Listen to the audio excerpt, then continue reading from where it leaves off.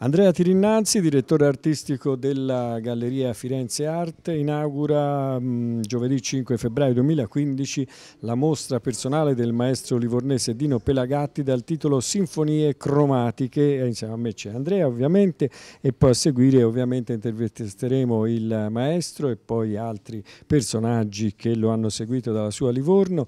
Oggi la Nazione ha dedicato addirittura una pagina intera a questo evento importante per la città di Firenze, evento al quale invitiamo i nostri telespettatori a partecipare da, eh, fino dalla messa in onda di questo servizio eh, e fino al prossimo eh, 5 marzo, quindi un mese, una mostra di lunga durata.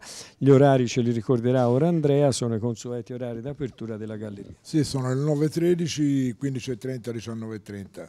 Eh, la mostra vi invito tutti a venire a visitarla perché eh, mi sembra sia veramente bella. E poi ci sarà la possibilità di vedere questa galleria, anche se era già di, di, di recente. Ehm, eh, Noi spesso facciamo delle modifiche, ci aggiorniamo un po' in tempo eh, e quindi eh, stata, eh, c'è un rinnovamento, diciamo così. Benché fosse di recente apertura, è stata completamente ristrutturata, soprattutto dal punto di vista della leggibilità delle opere, che con questo tipo di illuminazione sono veramente. Sì, un'illuminazione in arte povera, ma insomma fa il suo. Illuminate e appunto di, di, di, fruibilità totale da parte dei visitatori. Penso proprio. Allora ricordiamo ancora una volta ai nostri telespettatori l'indirizzo della galleria, ci troviamo a ridosso del Ponte alla Vittoria, vicinissimo alla conosciutissima trattoria della Vittoria. Della trattoria Vittoria, siamo via della Fonderia 42 Rosso, a, due passi dal Ponte Vecchio e per eh, chi transiterà in via della Fonderia, venendo da, dal rione di San Frediano, da Lungarno Soderini, eh, troverà ad accoglierli le sagome di Carlo Conti, di Leonardo Pieraccioni e di di Panariello che sì, quelle ormai ho fatto da tempo le digisculture le digisculture esatto. e sono qui per un motivo perché questa trattoria La Vittoria è il loro punto di incontro quando si trovano qui a Firenze e quindi prima di entrare a degustare il pesce celeberrimo della trattoria si soffermano qua a vedere i quadri perché tutti e tre sono appassionati di arte sì, penso proprio di sì come pensi? È la, è la verità, sono appassionato. Allora, ora si lascia la parola a... a Nicolò che lui vi accoglierà naturalmente alla Vanessa perché sono quelli che, allora, che qui Vanessa ci deve raggiungere. Che fanno, fanno, la sua parte qui dentro la galleria. Benissimo, allora dovete essere voi a invitare i nostri telespettatori a venire a visitare la mostra e suggerirgli uno dei motivi per chi non ha avuto modo di conoscere fino ad oggi il maestro, per cui sarà un obbligo, fra virgolette, venire prima della scadenza a visitare questa bella mostra personale. Innanzitutto vorrei ringraziare la Galleria Atena che ci ha dato gran, un grande aiuto per organizzare questa mostra. Per quanto riguarda la nostra galleria ci siamo sentiti in dovere di, una, di ospitare la personale di un maestro quale il maestro Pelagatti che con la sua luminosità nei suoi dipinti rallegra le giornate in questi periodi così, così bui quali ci sono oggi.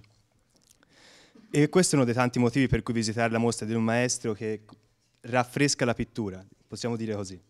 In modo un po trasmette una grande sì, gioia di vivere, una grande esatto. energia, una grande forza cromatica, si sprigiona dai suoi quadri, ma di questo ovviamente ne parleremo sì, col maestro che ci sta aspettando in un altro angolo della galleria.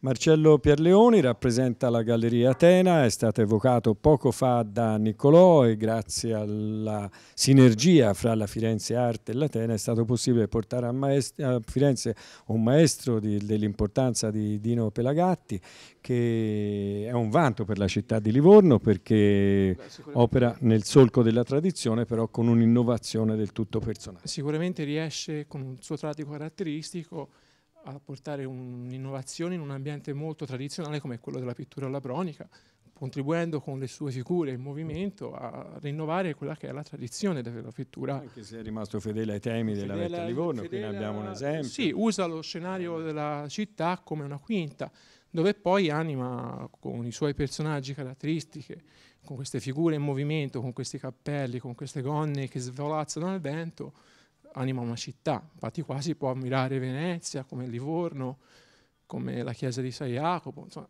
tutti gli angoli di Livorno e non solo.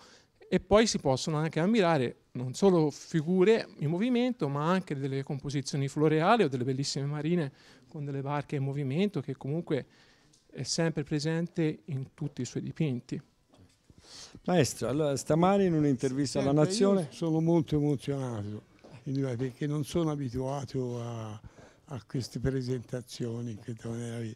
E comunque quello che dice Marcello eh, dice una, una, grossa verità perché io ho cercato e cerco tuttora, nonostante l'età avanzata, e cerco tuttora di, di, di portare avanti un discorso che ha le basi sulla storia livornese, sui pittori labronici, tutto però con, con la volontà, con, con diciamo, eh, il fatto di dover portare un pochino di nuovo sia come colorazione che come, che come soggetti, come, tant'è vero che io come dicevo alla signora là, eh, ho fatto nel periodo diciamo, che le mamme scoprivano che c'era la droga di mezzo, ho cercato di fare che qui non ci sono, ma ho fatto dei, dei quadri sulla droga,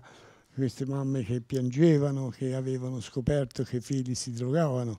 Quando c'è stata la ricostruzione, il cinquantesimo anniversario della costruzione della Scala di Milano, eh, io ho cercato di fare alcuni dipinti che parlavano di orchestre, di, di, di teatri.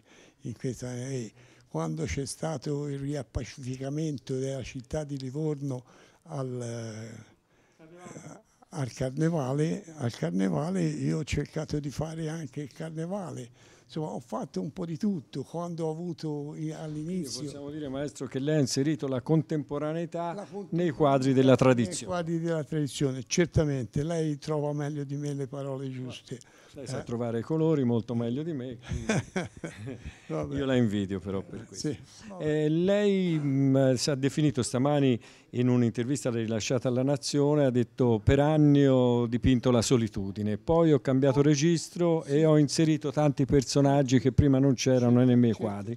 Questo sembra più aver attinto però agli impressionisti francesi che ai macchiaioli sì, apostoli. io non l'ho nemmeno visti gli impressionisti francesi, io ho cercato di studiare il movimento de, delle persone nel, nel, nelle persone, diciamo, nel, nel attraverso le persone ha voluto conferire sì. dinamicità al quadro, Ci movimento. Sono dei dipinti molto vecchi dove uno per esempio è un passaggio pedonale dove la gente talvolta attraversa fregandosene di, di, quello che con la macchina sta lì.